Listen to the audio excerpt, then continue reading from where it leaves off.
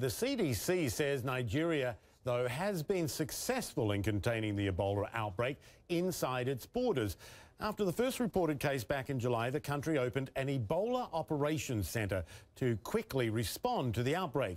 Well, for more on that apparent success, Dr. Faisal Shuaib joins us now from London. He is in charge of the Gates Foundation's Ebola Emergency Operations Centre in Nigeria.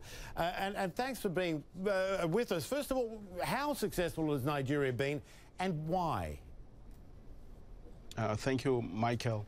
Um, as of today, um, Nigeria recorded uh, 19 confirmed cases of uh, Ebola virus disease. Uh, there were seven deaths and there are 12 uh, discharges. Uh, critical to the success that uh, we recorded in Nigeria, uh, three elements. Uh, firstly, there was rapid action on the part of the federal government and the Lagos state government by first quickly declaring a public health emergency with the recording of the first case and mobilizing swiftly uh, human, material, and financial re resources required to contain uh, the outbreak. Uh, there was also leadership uh, provided by the uh, Minister of Health, the Lagos State Governor, and the project director of the Centers for Disease Control in providing uh, protected authority and the space for the mm. Ebola Emergency Operations Center to actually contain uh, the virus.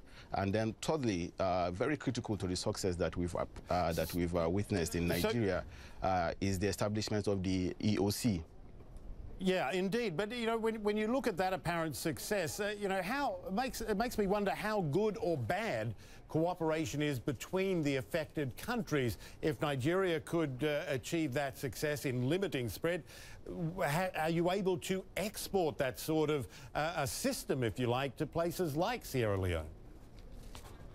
Yeah, absolutely. Even if I, even as I speak. Uh, uh, Sierra Leone and Liberia are already replicating the same model that we've used uh, in Nigeria in terms of establishing emergency operation centers for uh, Ebola.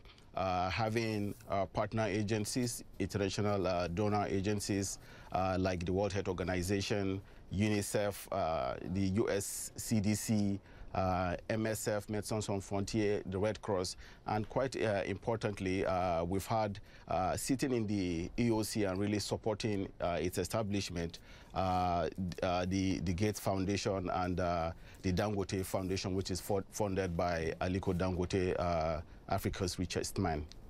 Yeah, you know, I'm, I'm, curious, you know, just watching, being here in the United States and watching the extraordinary amount of coverage that is given uh, to the US's first case of Ebola and only case of Ebola so far.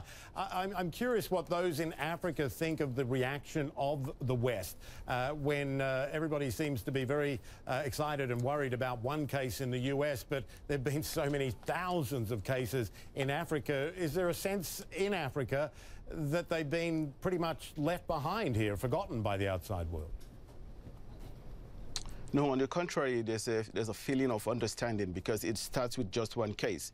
And if uh, there's no uh, comprehensive action to contain uh, the outbreak, then you see thousands of cases. So people here in Africa understand clearly why uh, rapid action and excitement and apprehension, as it were, uh, is uh, pervasive in, in, the U.S. It is uh, action that needs to be taken uh, immediately to contain uh, the virus and prevent it from spreading further.